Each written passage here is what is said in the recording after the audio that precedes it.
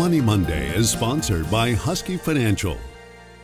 We all know gas prices are out of control. It's no secret that the cost of oil has a direct effect on inflation, a trickle down effect that hits trucking companies and ultimately lands in the hands of the consumer. On this Money Monday, we'd like to welcome back Vanessa Gant, accountant and tax strategist for Provision Accounting Solutions. And, and you know a lot about this space of trucking, and, and we want to kind of focus on trucking because it affects all of us not if you own a company or drive a truck, but if you're just a consumer in this country. Is that right? That is absolutely correct. For me, so anything that you have on in your car, in your house, at some point in time, it was on a truck. Yes, indeed. And we've been looking at a lot of ups and downs over the last few years. I want to talk a bit about the trend that you're now seeing in trucking.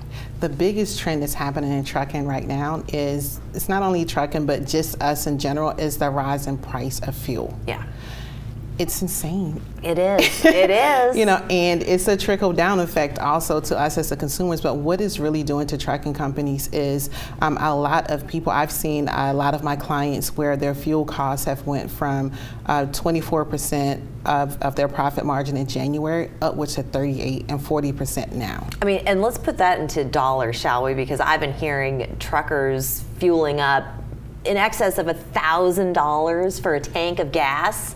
Well, we end up paying for that, but the trucker is also paying and the truck companies are also paying for that. So what happens when it's untenable at that point, when you just can't afford the gas anymore? They need to, that, this is where that art of negotiation and relationships come into play when you're in you know when you're in trucking i always say it's the relationships. When you build the relationships with your shippers or with your you know, your customers they understand that you've been there for them so now they want to be here for you. Mm-hmm. also managing uh, your fuel costs like looking at your fuel costs mm-hmm. making sure that you're only driving your truck for freight delivery you know reasons and not you know not to go home not to go to the store you know? Uh, yeah, yeah, yeah, you're only using it for freight okay. delivery Okay, well, that makes a lot of sense. And again, it does affect us as the consumer because eventually those costs do get passed along to us.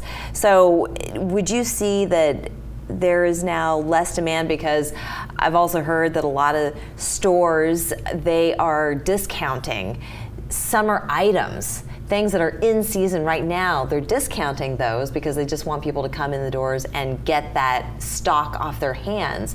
Are we going to be seeing less trucking for a while? because we've got less supply that's being freighted to and fro? We're always going to see the trucks. Yeah. We, we, can't operate without the trucks. Sure. So, but what we will see, so we'll probably see a delay in getting delay. items to the shelf. Okay. Um, you know, there's this not less movement, we just have to wait longer. We just have to wait longer. And we've been, and we saw that during COVID, the supply chain issues, and then the trickle down from that even with home building and, and all those supplies taking forever to get into the hands of the people who need it.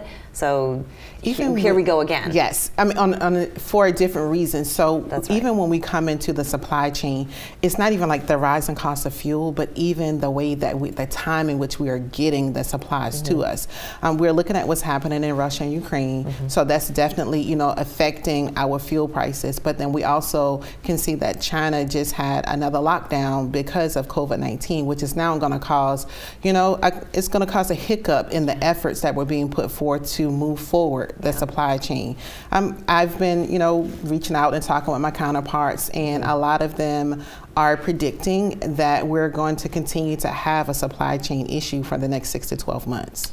Okay, six to 12 months. Six to 12 months. All right. I mean, it sounds like we can weather that storm. And with just a few seconds left, I, I want to talk about jobs because jobs in trucking became the hot thing during COVID. We needed drivers. So a lot of people went out, they got their commercial licenses, they got they hit the road. Now what's happened? Oh it's um it's it's been a it's been a roller coaster ride for some people. Yeah. So drivers are definitely still needed. Yeah. But what I saw from my personal experience is that there were a lot of people. There was this wave when trucking was the new shiny object. Sure. It's like, yeah, okay, let, let me jump at it because now I have this um, opportunity to generate this income. They uh, some of them weren't fully vested mm. into the industry. So now that fuel prices are high, you know this is a problem. You know a problem that they're used they're not used to navigating.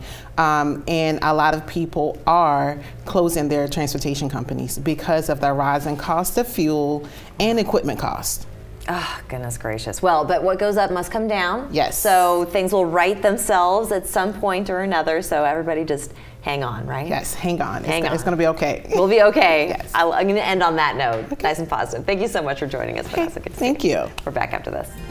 Money Monday is sponsored by Husky Financial.